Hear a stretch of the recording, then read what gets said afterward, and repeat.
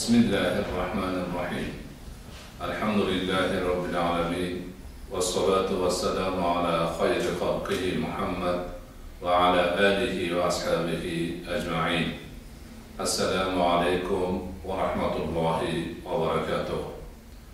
Azizlar, Allah subhanahu va taologa beadad hamdu sanolar, shukrlarimiz bo'lsinki, u zotni marhamati bilan, tavfiqi bilan hozirgi onlarda sizlarga Hilol nashr nashriyoti tomonidan chop etilgan yangi bir kitobni taqdim qilish vaqtiga muyassar bo'lib turibmiz.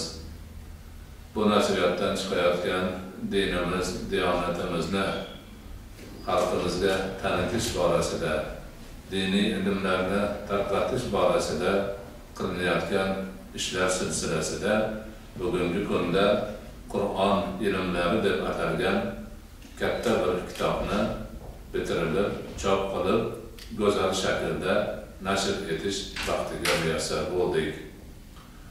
Albatta hammamiz yaxshi bilamiz, Qur'oni Karim ilohiy dastur, mo'min musulmonlarning muqaddas kitobi, shariatimizning birinchi manbasi hisoblanadi. Shuning uchun Qur'oni Karimga bog'liq har bir narsa mo'min musulmonlar uchun o'ta zarur va ahamiyatli narsa hisoblanadi. Musulmon ummati o'zining tarixi davomida Qur'oni Karimni ulug'lash bilan, ibodat sifatida tilovat qilish bilan, namozlarida o'qish bilan birga Qur'on va Qur'onga bog'liq barcha ilmlarni ham e'zozlab o'rganib kelishgan, tarqatib kelishgan va bu borada ko'plab asarlarni bitishgan. Ana oxir oqibat kelib Qur'onga bog'liq ilmlarni hammasini to'plab Qur'on ilmlari degan alohida bir ilmiy yo'nalish paydo bo'lgan. Bu yo'nalishga oid asarlarda Qur'oni Karimning nozil bo'lishi, oyatlari, suralari, uning yozilish tarixi, Qur'ondan chiqadigan ilmlar, Qur'onni fahmlash uchun kerak bo'lgan ilmlar va boshqa juda ko'p ma'lumotlar jamlangan bo'ladi. Butun bir boshli katta ilmlarning majmuasi Qur'on ilmlari deb ataladi. Bu ilmlarni har birini o'ziga yarasha yetuk mutaxassislari o'tganlar, ular o'z mutaxassisligi bo'yicha asarlar asarlarni taqdim qilganlar va ularni majmuasini Qur'on ilmlari deb atalmish ilm orqali mo'min musulmonlarga yetkazganlar. Qur'on ilmlari deb atalmish ilm mo'min musulmonlar uchun eng ulug' ilmlardan hisoblanadi. Chunki bu ilm Qur'oni Karimni hislatlarini undagi mavjud ilmlarni tafsilotini bayon qilib beradi.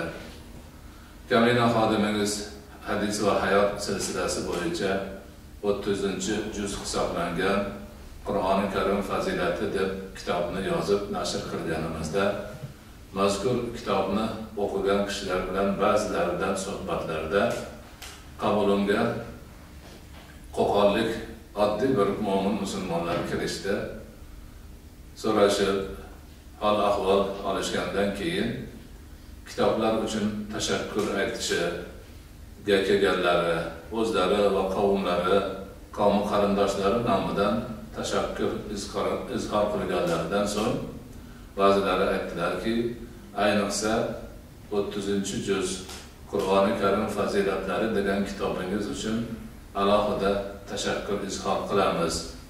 Biz o'sha kitobni o'qish orqali qanday muqaddas, ulug'vor, buyuk kitobni ummati ekanligimizni tushunib yetdik va bu bizning boshimizga toj bo'ldi, iftixorimiz bo'ldi degan gaplarni aytdilar. Haqiqatdan Qur'oni karimda ummat bo'lish har bir insonning buyuk baxtidir. O'sha ummat esa o'zini muqaddas kitobini tanishi, bilishi kerak. Ushbu Qur'on ilmlari deb atalmish kitob ana o'sha baxtga, saodatga omil bo'lgan ilmlarni hammasini batafsil tushuntirishga qaratilgandir. O'zi aslida shu qur'on ilmlari degan alohida ilm bor. Avvallari diniy muassasalarda ta'lim muassasalarida dars qilib o'qilgan hozir ham bu barcha diniy ta'lim muassasalarida bor. Bu 90 yillar 80 yillarni oxirida toshkentdagi islom ma'hadiga ham biz ishlab turgan paytimizda bu ilmni demak o'quv barnomasiga kiritgan edik va chet eldan shunga oid qur'on ilmlariga oid darsliklarni olib kelib man o'zim bir necha yil bu fandan dars bergan edim. Chet ellarda o'qiganimda ham mana shu qur'on ilmlari bo'yicha ilmiy ish yoqlagan edim. Undan keyin orzu umid bor ediki alloh nasib etsa bir kun kelganda mana mana shu ilmga bir kitob yozaman deb haqiqatdan vaqtda fursati yetganda ikki ming o'ninchi e, milodiy sanada mana shu ishga allohni o'zidan yordam so'rab qo'l urib ish boshladim. Tez fursatda bu kitobni oxiriga yetkazildi. Lekin allohni irodasi bu kitobni chop etilishi hozirgi kungacha orqaga surilib keldi. Bunga turli sabablar e, demak chiqdi. Hali u sabab bo'ldi hali bu sabab bo'ldi. Alloh taoloni irodasi bugungi kunga hozirgi davrga ketgan ekan. Mana alhamdulillah bu kitob kitob shaklida chiqdi. Bu kitobni tahrir qilishda e, yosh olimlarimizdan shogirdlarimizdan husaynxon yahyo abdulmajid juda qattiq demak ish olib bordilar. Nihoyatda diqqat bilan ko'p narsalarni aniqlab keldilar. Jumladan yurtimizdagi qorilarimizni rasuli akram alayhissalotu vassalomga yetadigan ilmiy silsilalarini katta qori buvalarimizdan topib olib kelib manga topshirdilar. Man uni ko'rib keyin shu kitobga kiritdik. Bu bizni diyorimizdagi qur'on hofizlari tarixini buyuk bir silsilasi kitobga kirib qolishiga sabab bo'ldi. Bularni hammasi juda ulug' gap. Hali hanuz bizni tilimizda bu ilmga asoslangan kitob chiqmagan edi. Alloh taolo nasib qildi. Mana biz ham o'zbek millati ham qur'on ilmlari degan e, kitobimizni o'zimizni tilimizdagi kitobga ega bo'ldik. Albatta bu juda ham katta baxt saodat. Bu baxt saodat bilan man barchalaringizni tabriklayman bu kitobni ichidagi ma'nolar nihoyatda ulug'vor allohning oxirgi kitobiga bog'liq ilmiy haqiqatlardan iborat. Buni o'qib o'rgangan har bir banda juda ko'p ma'lumotlarni oladi ajr savoblarga ega bo'ladi.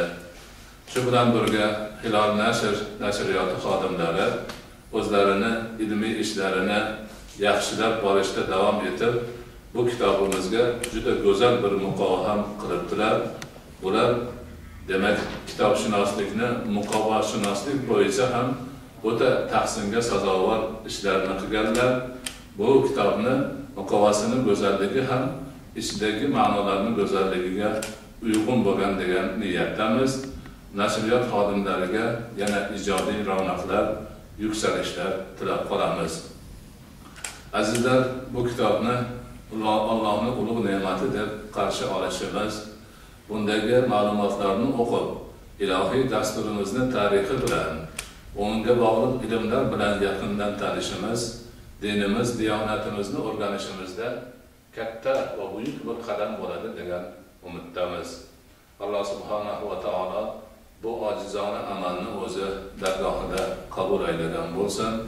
Bu kitobni shu shaklda xalqimizga taqdim etish uchun xizmat qilgan azizlarimizni barchalarini xizmatlarini ajr savoblarini ko'paytirib bersin o'qib foyda olganlarni foydasini ziyoda qilsin ilmlarini ko'payishiga sababchi qilsin va bu dunyo va oxiratni baxti saodatiga musharraf qilgan bo'lsin. Vassalomu alaykum va rahmatullohi va barakatuh. Va axiru da'vana أن الحمد لله رب العالمين.